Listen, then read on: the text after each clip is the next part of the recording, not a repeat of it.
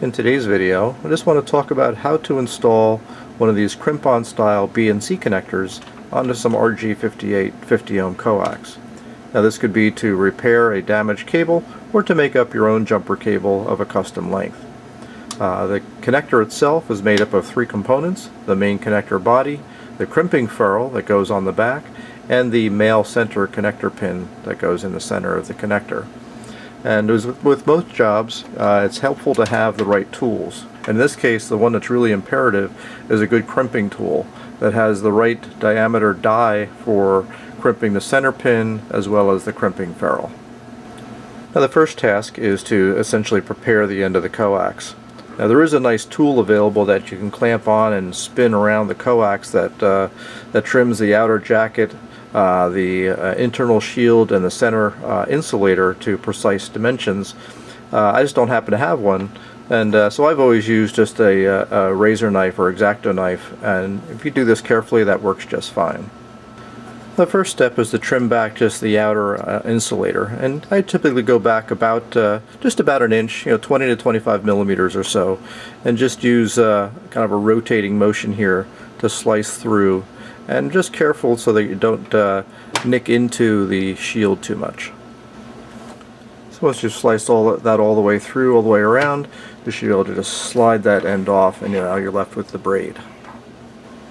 Now the next step is to trim back uh, the shield and it's typically going to be about uh, 7 millimeters or a little over a quarter of an inch and you could uh, either do it by measuring or simply just use the connector as a guide recognizing that the end of this ferrule is going to line up right about with the end of the black insulator and you want the braid to end just before this shoulder. So you can just trim it just by using the connector as a guide. Now I'll typically uh, fan the uh, braid out like this and then just carefully use a pair of uh, diagonal cutters and trim all the way around. Well that's not too bad. Uh, now's a good time to uh, slip the compression ferrule over the end of the coax and get it down out of your way here for the time being. Now the next thing we want to do is trim the uh, center insulator. We want the end of that center insulator to bottom out against the uh, insulator that's in the base of this connector, the white insulator up back there. And of course we can use the connector again as our guide if you don't want to do any precise measurements. Just take a piece of wire and stick it inside the connector here and then uh, where it bottoms out bend it over at a sharp angle and now you know the precise length to where you want to trim the center insulator. In this case it's uh, in the neighborhood of about uh, 11 to 12 millimeters, uh, just under a half an inch. Here's the next thing we want to do is trim the length of the center conductor and we can use again the connector pieces as our guide. We stick the uh, center conductor on here we can see how much length I need to trim away so that when this thing is fully seated uh, the bottom of this hits the uh, the center insulator here. So it looks like I need to take about uh, well, it looks like about three millimeters off of there, or uh, a little more than an eighth of an inch. Let's see how close I got here.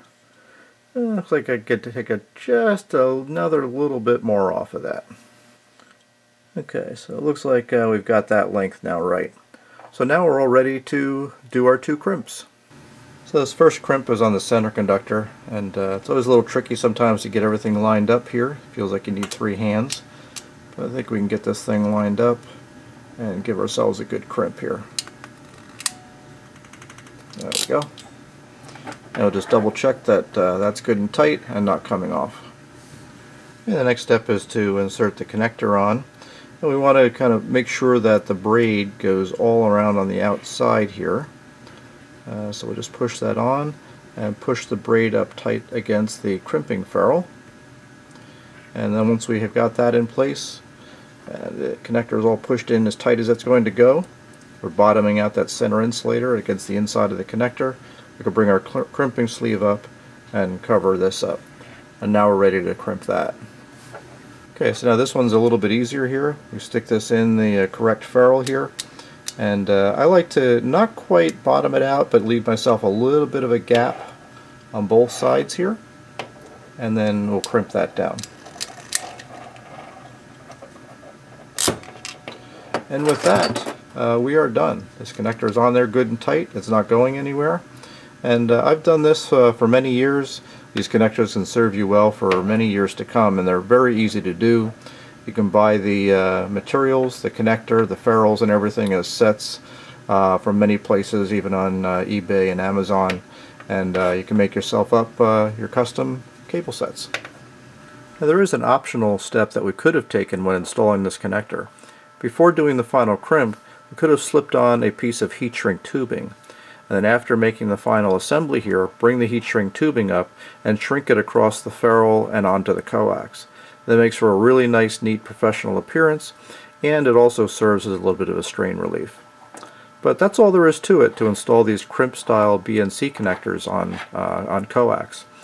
Uh, the connectors will be specific to the type of coax being used, whether it's RG58 like this, or maybe 75 ohm RG59, or maybe the miniature RG174, whatever it might be.